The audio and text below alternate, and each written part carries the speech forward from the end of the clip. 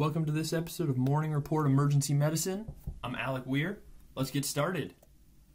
This is a toxicology case, but I promise you there will be no images of metabolic pathways, and I'll try to use the word metabolite as little as possible. It's a 33 year old female with a history of depression. She's here with suicidal ideation. She reports taking 20 ounces of ethylene glycol daily since mid June in an attempt to, quote, kill her kidneys. She already knows more about toxicology than I do. She reports taking 20 ounces this morning initially, but after the H&P she admits to the resident, she took much more. Here are her vitals. Temperature is 36.9, heart rate of 109, blood pressure of 138 over 102, breathing 28 times a minute, setting 100% on room air. Initially, the patient was walking and talking. She admitted to drinking way more than that 20 ounces of ethylene glycol, and then over her ED course, she became progressively more lethargic and was intubated for airway protection. And here are her lab values. Things I want to draw your attention to is this anion gap is elevated at 22. Calcium, the ionized level is low at 4.4. She's acidotic at 7.24 with a low PCO2, concerning for a metabolic cause. Her osmolality, her measured is 301 and calculated is normal. Uh, at our hospital, 300 is the highest limit of normal. And her lactate is 7.6. This is bad, right? Look at all those red arrows and double exclamation points. You know this is bad. Her lactate 7.6 and her ethylene glycol level is 80. Do you know what's normal? Zero. You should have no ethylene glycol in your system. So what is ethylene glycol?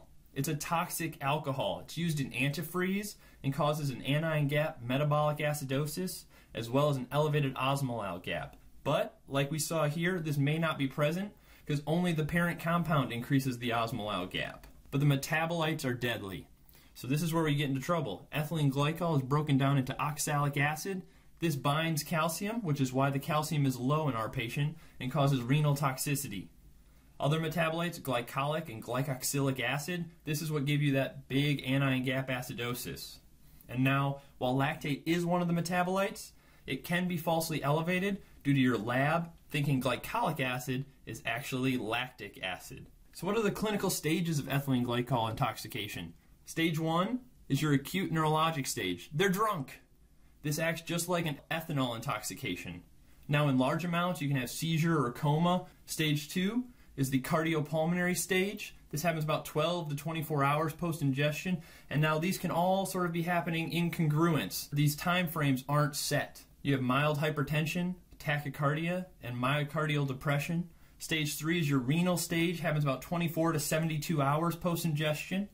This is when you have your calcium oxalate crystals forming, you have hematuria and proteinuria, and you have acute tubular necrosis. This is why you need that dialysis. And then stage four, the delayed neurologic sequela stage, or the not my problem stage in the emergency department acutely. This is 6 to 12 days post ingestion. You can have cranial neuropathies, and these all were associated with previous renal failure.